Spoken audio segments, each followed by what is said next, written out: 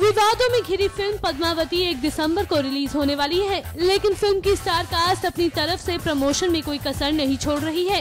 खबर है कि इस हफ़्ते वीकेंड के वार एपिसोड में शाहिद और दीपिका सलमान खान के शो बिग बॉस का हिस्सा बनेंगे। रिपोर्ट्स के मुताबिक शाहिद और दीपिका एक साथ फ़िल्म का प्रमोशन करेंगे।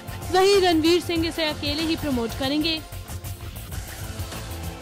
सोर्सेज के अनुसार बिग बॉस में पद्मावती के लिए खास तैयारी की जाएगी।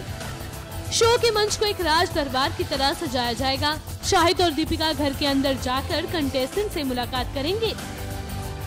बता दें कि दीपिका पिछली बार भी बिग बॉस के शो में घर के अंदर गई थी। उन्हें ये मंच बहुत पसंद है। बिग बॉस के दौरान उनकी जो भी फ़िल्में आती हैं, वो उसका प्रमोशन सलमान के शो में ज़रूर करती हैं। वे दोनों बहुत अच्छे दोस्त भी हैं। वहीं शाहिद भी सलमान के साथ अच्छा बॉन्ड शेयर करते हैं।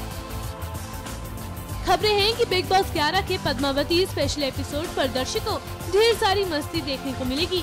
अब तो फैंस को भी इस एपिसोड के ऑन एयर होने का इंतज़ार है। वैसे आप इसे लेकर कितने एक्साइटेड हैं, हमें कमेंट करके बताना मत भूलिएगा। और बिग बॉस से जुड़ी खबरों के लिए देखते रहिए मिर्ची बॉलीवुड।